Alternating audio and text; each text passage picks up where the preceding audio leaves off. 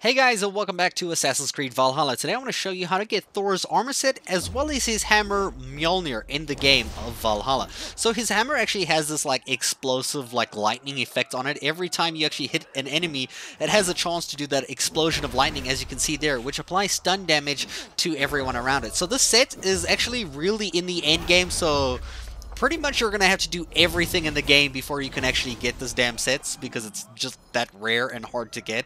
And also it's kind of broken. It like it literally breaks my game. But that's just the explosive power of the set. So the set is actually really great for bosses and stuff, but by the time you actually get the set, most of the bosses are already dead. So this is truly an end game reward for you to play around with. So Mjolnir has an effect here that every hit has a chance to do stun damage with all enemies around you. So that might be a cool effect. And when paired with Thor's armor set, you'll notice that you get an increase to speed when stunning an enemy as well as an additional increase to actual stun. So now on to where you can find the Thor's armor. So starting from our settlement, we're going to head all over to the right here, or, you know, just before East Anglia. So this is Grantebridge Shire, located at the top side there. You'll see there's an arena here with a body strung up over here. Now, when you interact with this body, it will start a boss fight. I've actually already done this boss fight before I knew what it was, and this is where you get Thor's breeches, his kind of boots. So this is where you get your first Thor's piece of armor. The second piece is located in East Anglia, so all the way to the right of your settlement here in this location right over here. If you just follow me on the map at this blue dot over here is an arena where we have another tied up guy, and this will lead to another boss fight. There are three boss fights in total that you have to do for Thor's armor, so just kill this guy. They are a bit tough, so usually you're going to try focus these in the end game because they're really difficult to beat, but once you do beat them, you do collect a piece of Thor's armor as well as their weapon that you're going to use as a key. So you can see here we got the Battle Plate Torso for killing Regan. The next boss is also located here in East Anglia, but towards the southwestish side over here, located near the, the point.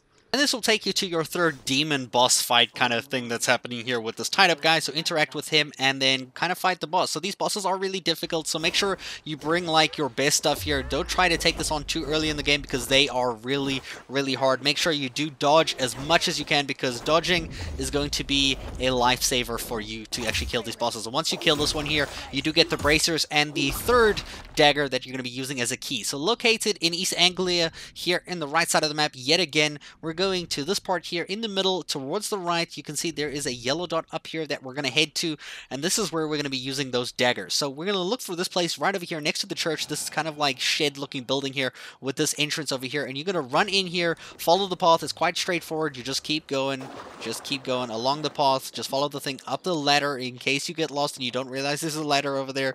Jump down into this area here, and then here you'll notice there is a statue here, and when you interact with the statue, you can shove your daggers that you received from the four, well, the three ladies that you, the demon ladies that you fought, shove the three daggers in there and it will kind of explode and then there'll be like a pathway and in that pathway, under the ground, in the sea, under a pineapple in the tree, there is a chest with Thor's helmet. And that's all great and all, but the final piece of Thor's armor is the most annoying to get. You're you're gonna hate me for this. You have to kill everyone in the order. Like I'm sorry, you have to kill everyone.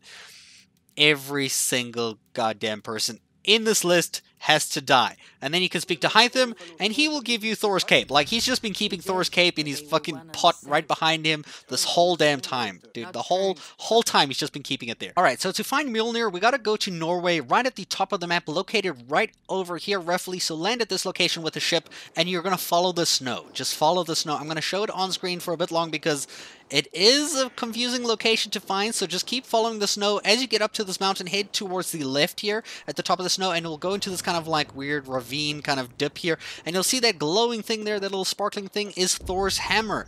Now, you have to equip all of Thor's armor to be able to pick up the hammer. So you gotta go put on every single item of Thor's armor, all five pieces, and only then can you interact with the hammer and that will let you pick up the hammer. And now you have all of Thor's armor as well as Mjolnir, and you are a literal god. I hope you guys enjoyed this tutorial and this information, and I'll see you guys in a future video. Thank you so much for watching.